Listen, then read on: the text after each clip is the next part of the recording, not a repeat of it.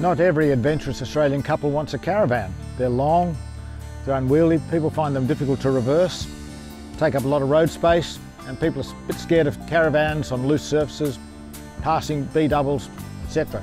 For them, something like this Explorer Spirit is the answer.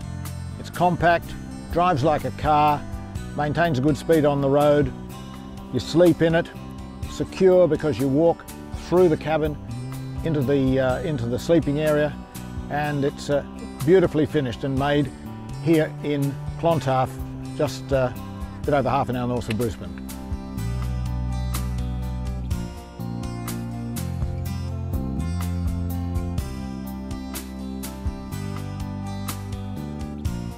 The Explorer Spirit motorhome is beautifully equipped inside. Its uh, quality is extremely good, lightweight cabinetry with positive uh, locking catches. A good kitchen, uh, really split into two. On one side you have the sink and good plate up space. On the other side you have a, a, a totally adequate three burner cooktop with uh, plate up space alongside and a slide out barbecue outside. So plenty of cooking options.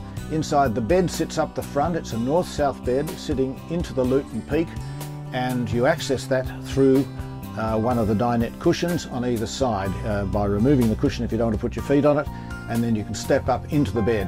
Headroom above the bed head, a little bit limited, a little bit claustrophobic and no ventilation there which is a little bit of a downer. Uh, otherwise in the interior, the rear ensuite, uh, safely away in the rear of the van, is uh, surprisingly roomy. You have a separate shower and toilet.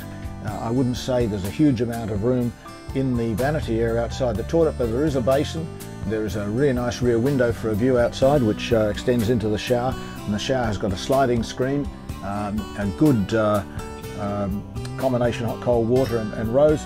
Very comfortable.